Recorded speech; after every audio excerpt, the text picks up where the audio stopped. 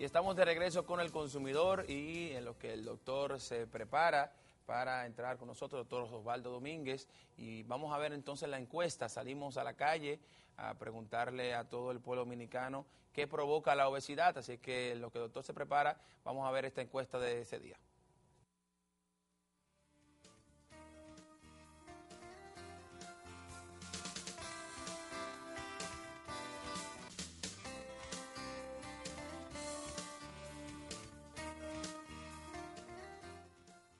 Come mucho, eh, en mucha cantidad, porque hay, hay gente que comen para vivir y otros viven para comer.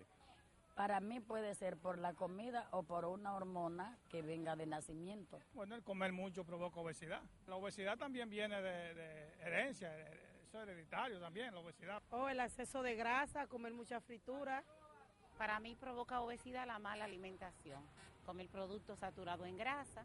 Eso es la grasa y la, lo, lo, lo- los carbohidratos. Yo creo que provoca obesidad. La gente come mucha carne de cerdo y muchas cosas que tengan mucha grasa. Y también el usted come mucho de noche, como hay gente que comen de madrugada, comen mucha fritura y comen de todo tipo de cosas. El estrés, eh, por ejemplo, la causa principal y la falta de ejercicio.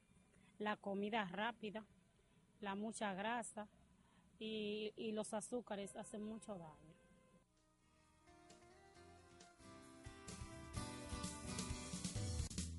Pueblo Doctores, sabe. ay, doctor, un placer tener en el programa el doctor Osvaldo Domínguez con nosotros. Vamos a ver, doctor, ¿qué le pareció eh, la- la- la- el pueblo hablando con respecto a este tema? El pueblo hablando lo que dice es que no está muy perdido.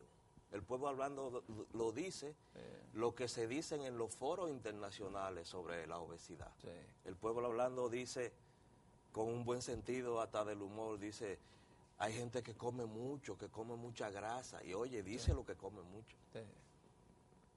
O sea, el pueblo sabe que tiene malos hábitos alimenticios y no, no se le quita razón porque ya se ha dicho en todos los foros internacionales donde se habla de obesidad, se ha tenido como norte cambiar los hábitos alimenticios. ¿Por qué? Cambiar los hábitos alimenticios porque son los hábitos alimenticios. Sí. que han llevado a una población cada vez más creciente de los llamados obesos o en sobrepeso. Doctor, pero también se habla del tema de la calidad de la alimentación. O sea, Precisamente. No solamente la cantidad de la vida. Hay gente que, que está este dilema, ¿no? Ese, ese, el concepto eh, hábito alimenticio Sí. encierra todo. Encierra eso. todo. Cantidad, calidad. Sí. Hemos visto, sobre todo en Occidente, cómo la obesidad se ha convertido en un problema ya no personal, sino un problema de salud Sí, pública. así es. En Estados Unidos, disculpe doctor, por ejemplo, la- he visto comerciales de la primera dama, de Sí. Michelle Obama, hablando acerca de la obesidad en los niños Sí, y dando recomendaciones a los niños de qué comer, de comer vegetales y un poco orientando a los Pero padres. ¿cómo llega Sí. la señora primera dama de los Estados Unidos a esa conclusión de trabajar en contra de la obesidad en su país? Yo no sé si tú sabías que en la primera entrevista que le hicieron precisamente a la primera dama de Estados Unidos, luego que su marido fue Electo, ¿sí? electo Sí. y ya era presidente, en cuanto a cuáles eran sus proyectos como primera dama. Ella le dijo al que lo entrevistaba que ella ya había ayudado a su marido a, a- a ser, que ella se iba a dedicar a sus hijas y que trajo con ella a la Casa Blanca y todo el mundo lo vio a su madre para dedicarse a sus hijos. Pero también le dijo que solamente dejaba de educar a sus hijas si alguien en los Estados Unidos le decía que había un problema que con su figura se pudiera ayudar a resolver o resolver. Sí. Hubo un salubrista, un estudioso de la salud pública, que habló con ella y la convenció de lo que tú estás hablando. Sí. La primera dama de Estados Unidos convencida de lo que es el problema en su país, Sí. De, lo- la, de la obesidad. Infantil, sí. De la obesidad no solamente infantil, la, la obesidad de toda la población. El 68% de la población norteamericana tiene o sobrepeso u obesidad. ¿A qué llamamos sobrepeso, doctor? Vamos a- Sobrepeso es la antesala a la obesidad. Lo bueno sería primero decirle a, a- a término educativo a, los teleoyentes Sí. cómo se mide el sobrepeso. ¿Cómo se mide? Vamos a ver. Hay un factor que es determinante para calificar lo que es el estado ponderal, el peso del individuo. Eso se llama índice de masa corporal. Ok. Tú me preguntas, ¿a qué se llama sobrepeso? Bueno, el sobrepeso es cuando el índice de masa corporal está a partir de 20, ya el índice de masa corporal, ¿De 20 qué, doctor? de 20 es un índice, es un número. Ok. Unos cálculos que se hacen entre lo que tú mides con lo que tú pesas y se saca un número que se llama índice de masa corporal. Ok. Eso no tiene unidad. Ok. Pero sí se sabe que cuando se calcula eso, las personas que están por debajo de 20 están en bajo peso. Pero de 20 a 25 es como, como deben de estar las personas para estar lo que se llama healthy, en, en buen peso. Sí. A partir de, de- De de 25 25 comienza El el sobrepeso, pero no para siempre. Hasta 30. Y a partir de 30 comienza la obesidad. obesidad. Doctor, hay muchas, hay preocupación. O sea, esto es un tema, usted bien lo dice, un tema mundial. Sí, Eh, es una pandemia, así es que se le llama, una pandemia mundial. Así es, y habla, y, y la República Dominicana obviamente es parte de No ese escapa no esa escapa de eso. pandemia. Vemos como el- la preocupación de las mujeres, de los hombres, el tema de bajar de peso, de cómo puedo bajar esas libras de más. Ellos hablaba al inicio que el espejo se convierte en nuestro enemigo, no queremos ni siquiera vernos, la autoestima se nos baja. Algunas recomendaciones, doctor. ¿Qué- qué- ¿Cómo debe empezar una persona a bajar este, a bajar de peso? ¿Cuándo debe darse, cuándo se debe dar cuenta? ¿Cuándo una gente nota que está sobrepeso? Precisamente por lo Sí, que estamos por- hablando. sí. Cuando su índice de masa corporal Está por empiece 25. por a, a bajar, a subir de 25, 26, 27, 28, Sí. 30 ya en obesidad, 35 ya obesidad mórbida. Esa gente que ya lo que necesitan son eh, medidas drásticas, cirugías bariátricas. Antes de eso, antes de que el índice de masa corporal, y repito, porque ya no es muy importante saber si yo peso 200 o 200, och- 280, sino mi índice de masa corporal, ¿cuál es? Que es con eso que se ha medido a partir de cuándo ese sobrepeso o esa obesidad comienza a dar trastornos. Yo he visto, doctor, que hay mucha gente que se preocupa en el tema del peso, cuántas libras yo tengo. Pero obviamente es un conjunto de cosas, no solamente el peso, sino el tamaño que tú tengas y la contextura que tú tengas física. Eso no, eso también va dentro de lo que es el índice. este. El índice de masa corporal es, Sí. es eso, Es eso. un cálculo que se hace entre lo que tú pesas y lo que tú mides. No es lo mismo una persona con 5 pies y 2 pulgadas con 120 libras que esa misma persona con 5 pies, 2 pulgadas y 100, no mucho, no, 140 libras. La diferencia es significativa Claro. por la talla. Sí. Tú me dirás, solamente son 20 libras, pero 20 libras una persona pequeña la maneja de forma diferente que 20 libras que una persona que en vez de 5'2 tuviera 5'7. ¿Mm? Sí, así es. Doctor, entonces vamos a empezar a dar recomendaciones. Las recomendaciones es- son educativas. Vamos a ver, empecemos por la primera, la, La- más importante. Cambiar de hábitos alimenticios, Sí. porque ya sabemos que los hábitos alimenticios, lo que dijo el pueblo la- Sí. la- en, tu- en la, Encuesta, claro. en la encuesta se vio muy claro. Sí. Se habló del consumo de grasa, del consumo de azúcar. Y hubo una señora que habló de un, de un factor muy importante, que habló del sedentarismo. Claro. Dijo ella, y, y tenemos que ver cómo los muchachos hacen más, lo dijeron. O sea, el pueblo no está eh, perdido. Pero doctor, si no estamos perdidos, si sabemos se la- necesitan, como hab- lo que Pero- hablamos pero primero. eso, doctor, espérese. No estamos perdidos. Todo el mundo sabe lo que debe hacer para rebajar. Todo el mundo sabe lo que no debe comer. Todo el mundo sabe que no puede ser sedentario, que tiene que caminar, que tiene que hacer ejercicio. Todo el mundo sabe eso.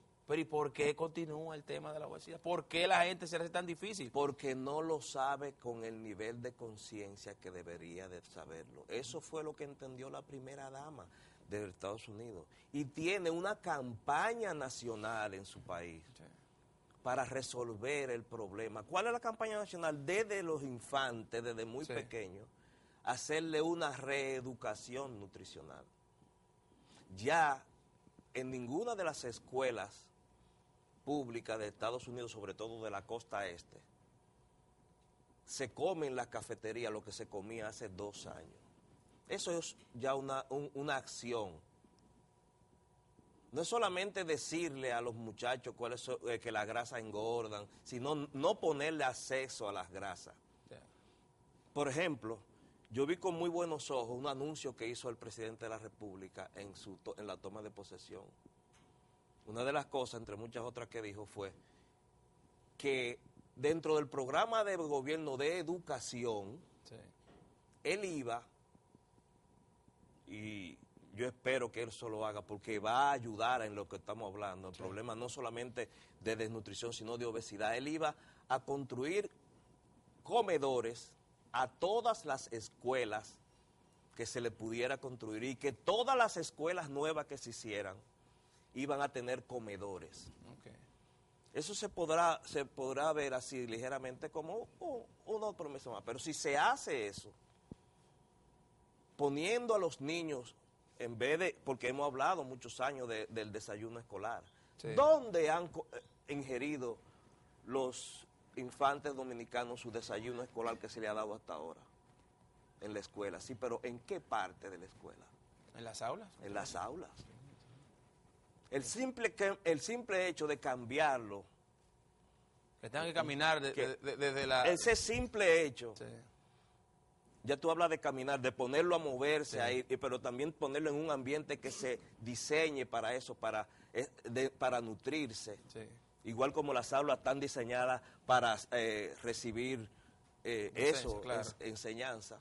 Eso solamente va a, hacer, a dar un cambio en hábitos alimenticios. Otra cosa muy importante, Disculpe, déjemela ahí, déjemela ahí, no, no, déjese ese pensamiento ahí, tenemos que hacer una pausa. vamos a hacer. Vamos a hacer la pausa y cuando regresemos seguimos hablando con el doctor Osvaldo Domínguez sobre este tema, la obesidad. Regresamos ahora.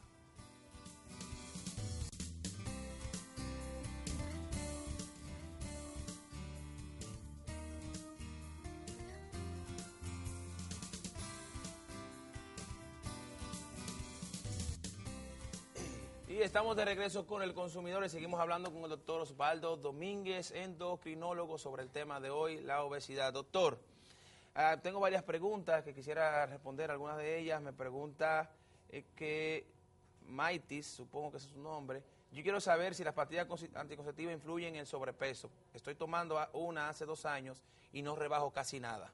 La pastilla, todo anticonceptivo, uno de los efectos secundarios de la anticoncepción es que la, las usuarias de, la- de anticonceptivos orales, sobre todo, Sí.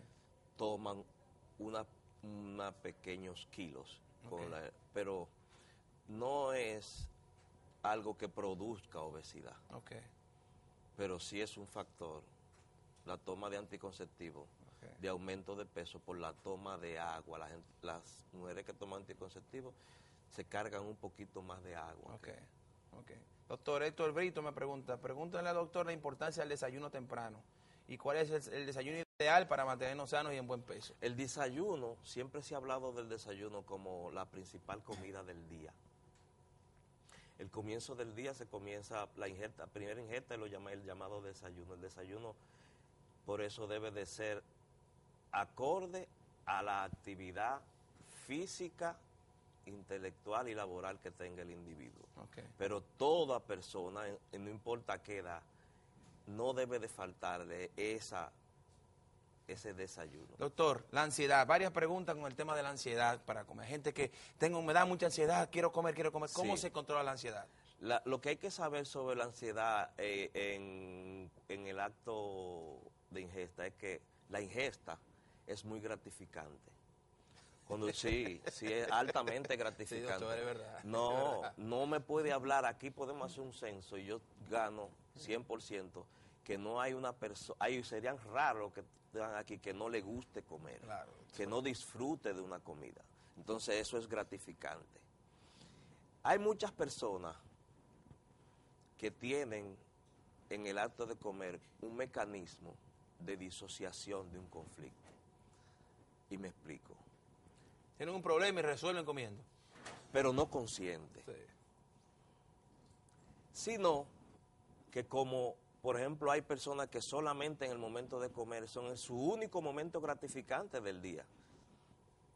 Sí. que lo de la otra parte del día que no está comiendo no es tan gratificante, no tiene que pasarla mal, pero no es tan gratificante. ¿Qué hace una persona así? Oh, comer. Que alarga Claro, los momentos gratificantes, Claro, o sea.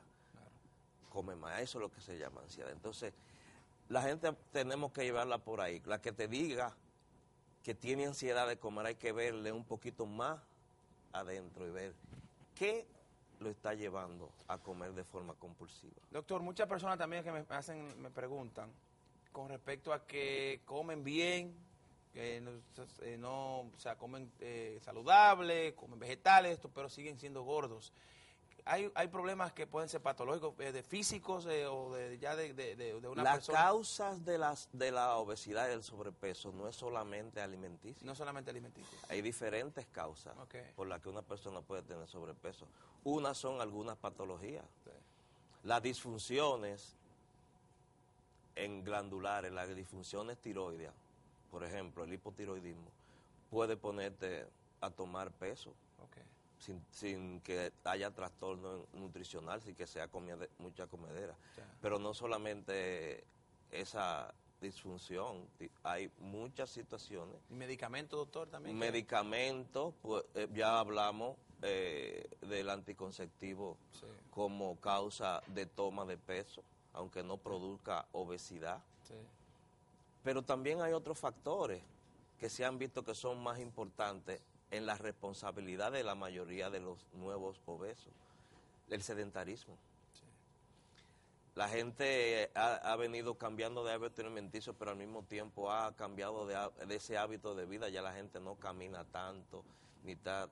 Entonces, se ha visto que eso es un factor también. Doctor, la- mi- mi tele- mis televidentes no, no me matarían si yo no le hago esta pregunta, porque obviamente es la parte vital de, de este programa. ¿Cuál es el cuchillo? ¿Qué quita? ¿Qué hace que la gente baje de peso? ¿Qué recomienda? Ya obviamente, obviamente usted habló de, hacer ejercicio, de una buena alimentación, pero no hay otra cosa. O sea, hay gente que habla de pastillas, hay muchas pastillas que se venden en el mercado que para rebajar, hay muchos productos. ¿Existe una, pati- una pastilla milagrosa que te rebaje y tú sigas comiendo eh, al igual y no dejes de hacer ejercicio? ¿O necesariamente hay que hacer ejercicio y La comer sano? respuesta es no. No existe una pastilla milagrosa que tú te sientes en tu casa y te la tomes cada dos horas, semanal o cada cinco, o que sean muchas, que sea, no existe esa pastilla. Y no existe esa pastilla porque nosotros lo que hacemos obesidad, y, y no solamente eh, toda la comunidad mundial no tiene una respuesta como pastilla, lo que sí tenemos es respuesta cómo se presenta la obesidad por múltiples factores. Entonces son múltiples cosas que hay que hacer para dar al traste con la obesidad. Lo principal, lo que hablamos desde el principio, educacional. Ya sabemos que tenemos que reeducar nutricionalmente a la población. Se va a necesitar lo que se llamará un programa nacional de reeducación nutricional. ¿Mm? Como se están haciendo en los, en, en los países donde ya el, el problema es grave. Nosotros no es que no tengamos el problema y que no se agrave, Sí. también nosotros hemos contado, la Sociedad Dominicana de Cardiología junto con la, eh, el grupo que estudia la obesidad, contaron, hicieron el censo nacional de obesos. Y ya sabemos por estadísticas nacionales que tenemos un 15% de la población mínima en, en sobrepeso y obesidad. Yo me lo encuentro bajito, doctor. Ba- bajito, Dios. Yo me lo encuentro bajito, doctor. Sí. Porque yo No, no hemos visto, fue en la cara de nosotros. Nosotros, nosotros los que no somos tan jóvenes, por decirlo, hemos visto también cómo ha crecido la población Sí, dominicana en sobrepeso y obesidad. sí. Cuando yo tenía tu edad, tú tendrás 20 años, yo estaba... ¿Cuánto, un- doctor? Ay, doctor, esto, este programa es suyo, doctor. Jamás, usted, todos los días usted va a tener este programa. No, no, no, pero te digo... eh, 20 com- años, mire. Comparándome conmigo, yo soy, Ah, un es hombre- verdad, es verdad. yo soy, soy un señor que soy abuelo, Sí. orgullosamente. Sí, doctor, pues Sí. lo parece, doctor. 57 años, para los que llevan Sí, apuntes, sí. De una vez. 57. Sí, yo tengo 57 años, Sí. soy abuelo. Pero eso no es. Es para decirte que cuando yo tenía 17 años, que yo estaba en el colegio, en mi colegio Sí. estaba el gordo del colegio. Había un gordo del colegio. Le llaman gordo. El gordo, del colegio. Y por mi casa estaba el gordo del barrio. Un gordo. Cuando tú estabas en el colegio, Es verdad, doctor. Había un gordo. estaba un, había un gordo Había en un cada gordo. curso. Había un gordo. Eso sí. En, el curso de mi nieto hay varios gordos. Le dicen, el, mira el flaco, ahora es el flaco. El punto de referencia es el No, no, eh, precisamente los gordos se salvaron porque en mi época Sí. se mofaban, no, porque era un gordo. Pero si la gente se ponía ahora a mofarse de los gordos, no acaba nunca, ya nadie se mofa de los gordos. Doctor, tenemos que irnos, doctor. Doctor, pero antes de... Parece un chiste, pero eso... No, pero es lo la realidad, Lo la que, realidad. lo que quiero decirte con eso es la evolución Sí, solamente de una visión sí. en el paso del tiempo de la cantidad de gordos que, que habemos en República Dominicana, Doctor, usted está en el Centro Médico UCE, ¿verdad que sí? entre otras partes. Entre otras partes. Usted es un placer conocerlo, doctor, y un placer tenerlo en el programa hablando sobre este tema tan interesante, la obesidad. Eh, ya lo saben, buena alimentación, doctor. Cambio de cambio de cambio, Cambio de hábito hábito de vida, sedent- combatir el sedentarismo Así es, y educación nutricional, esas son las claves. Muy bien, doctor. Muchísimas gracias por estar, un placer conocerlo. Vamos a la mío. pausa, señores. El doctor Wilfredo Mañón nos acompaña a continuación.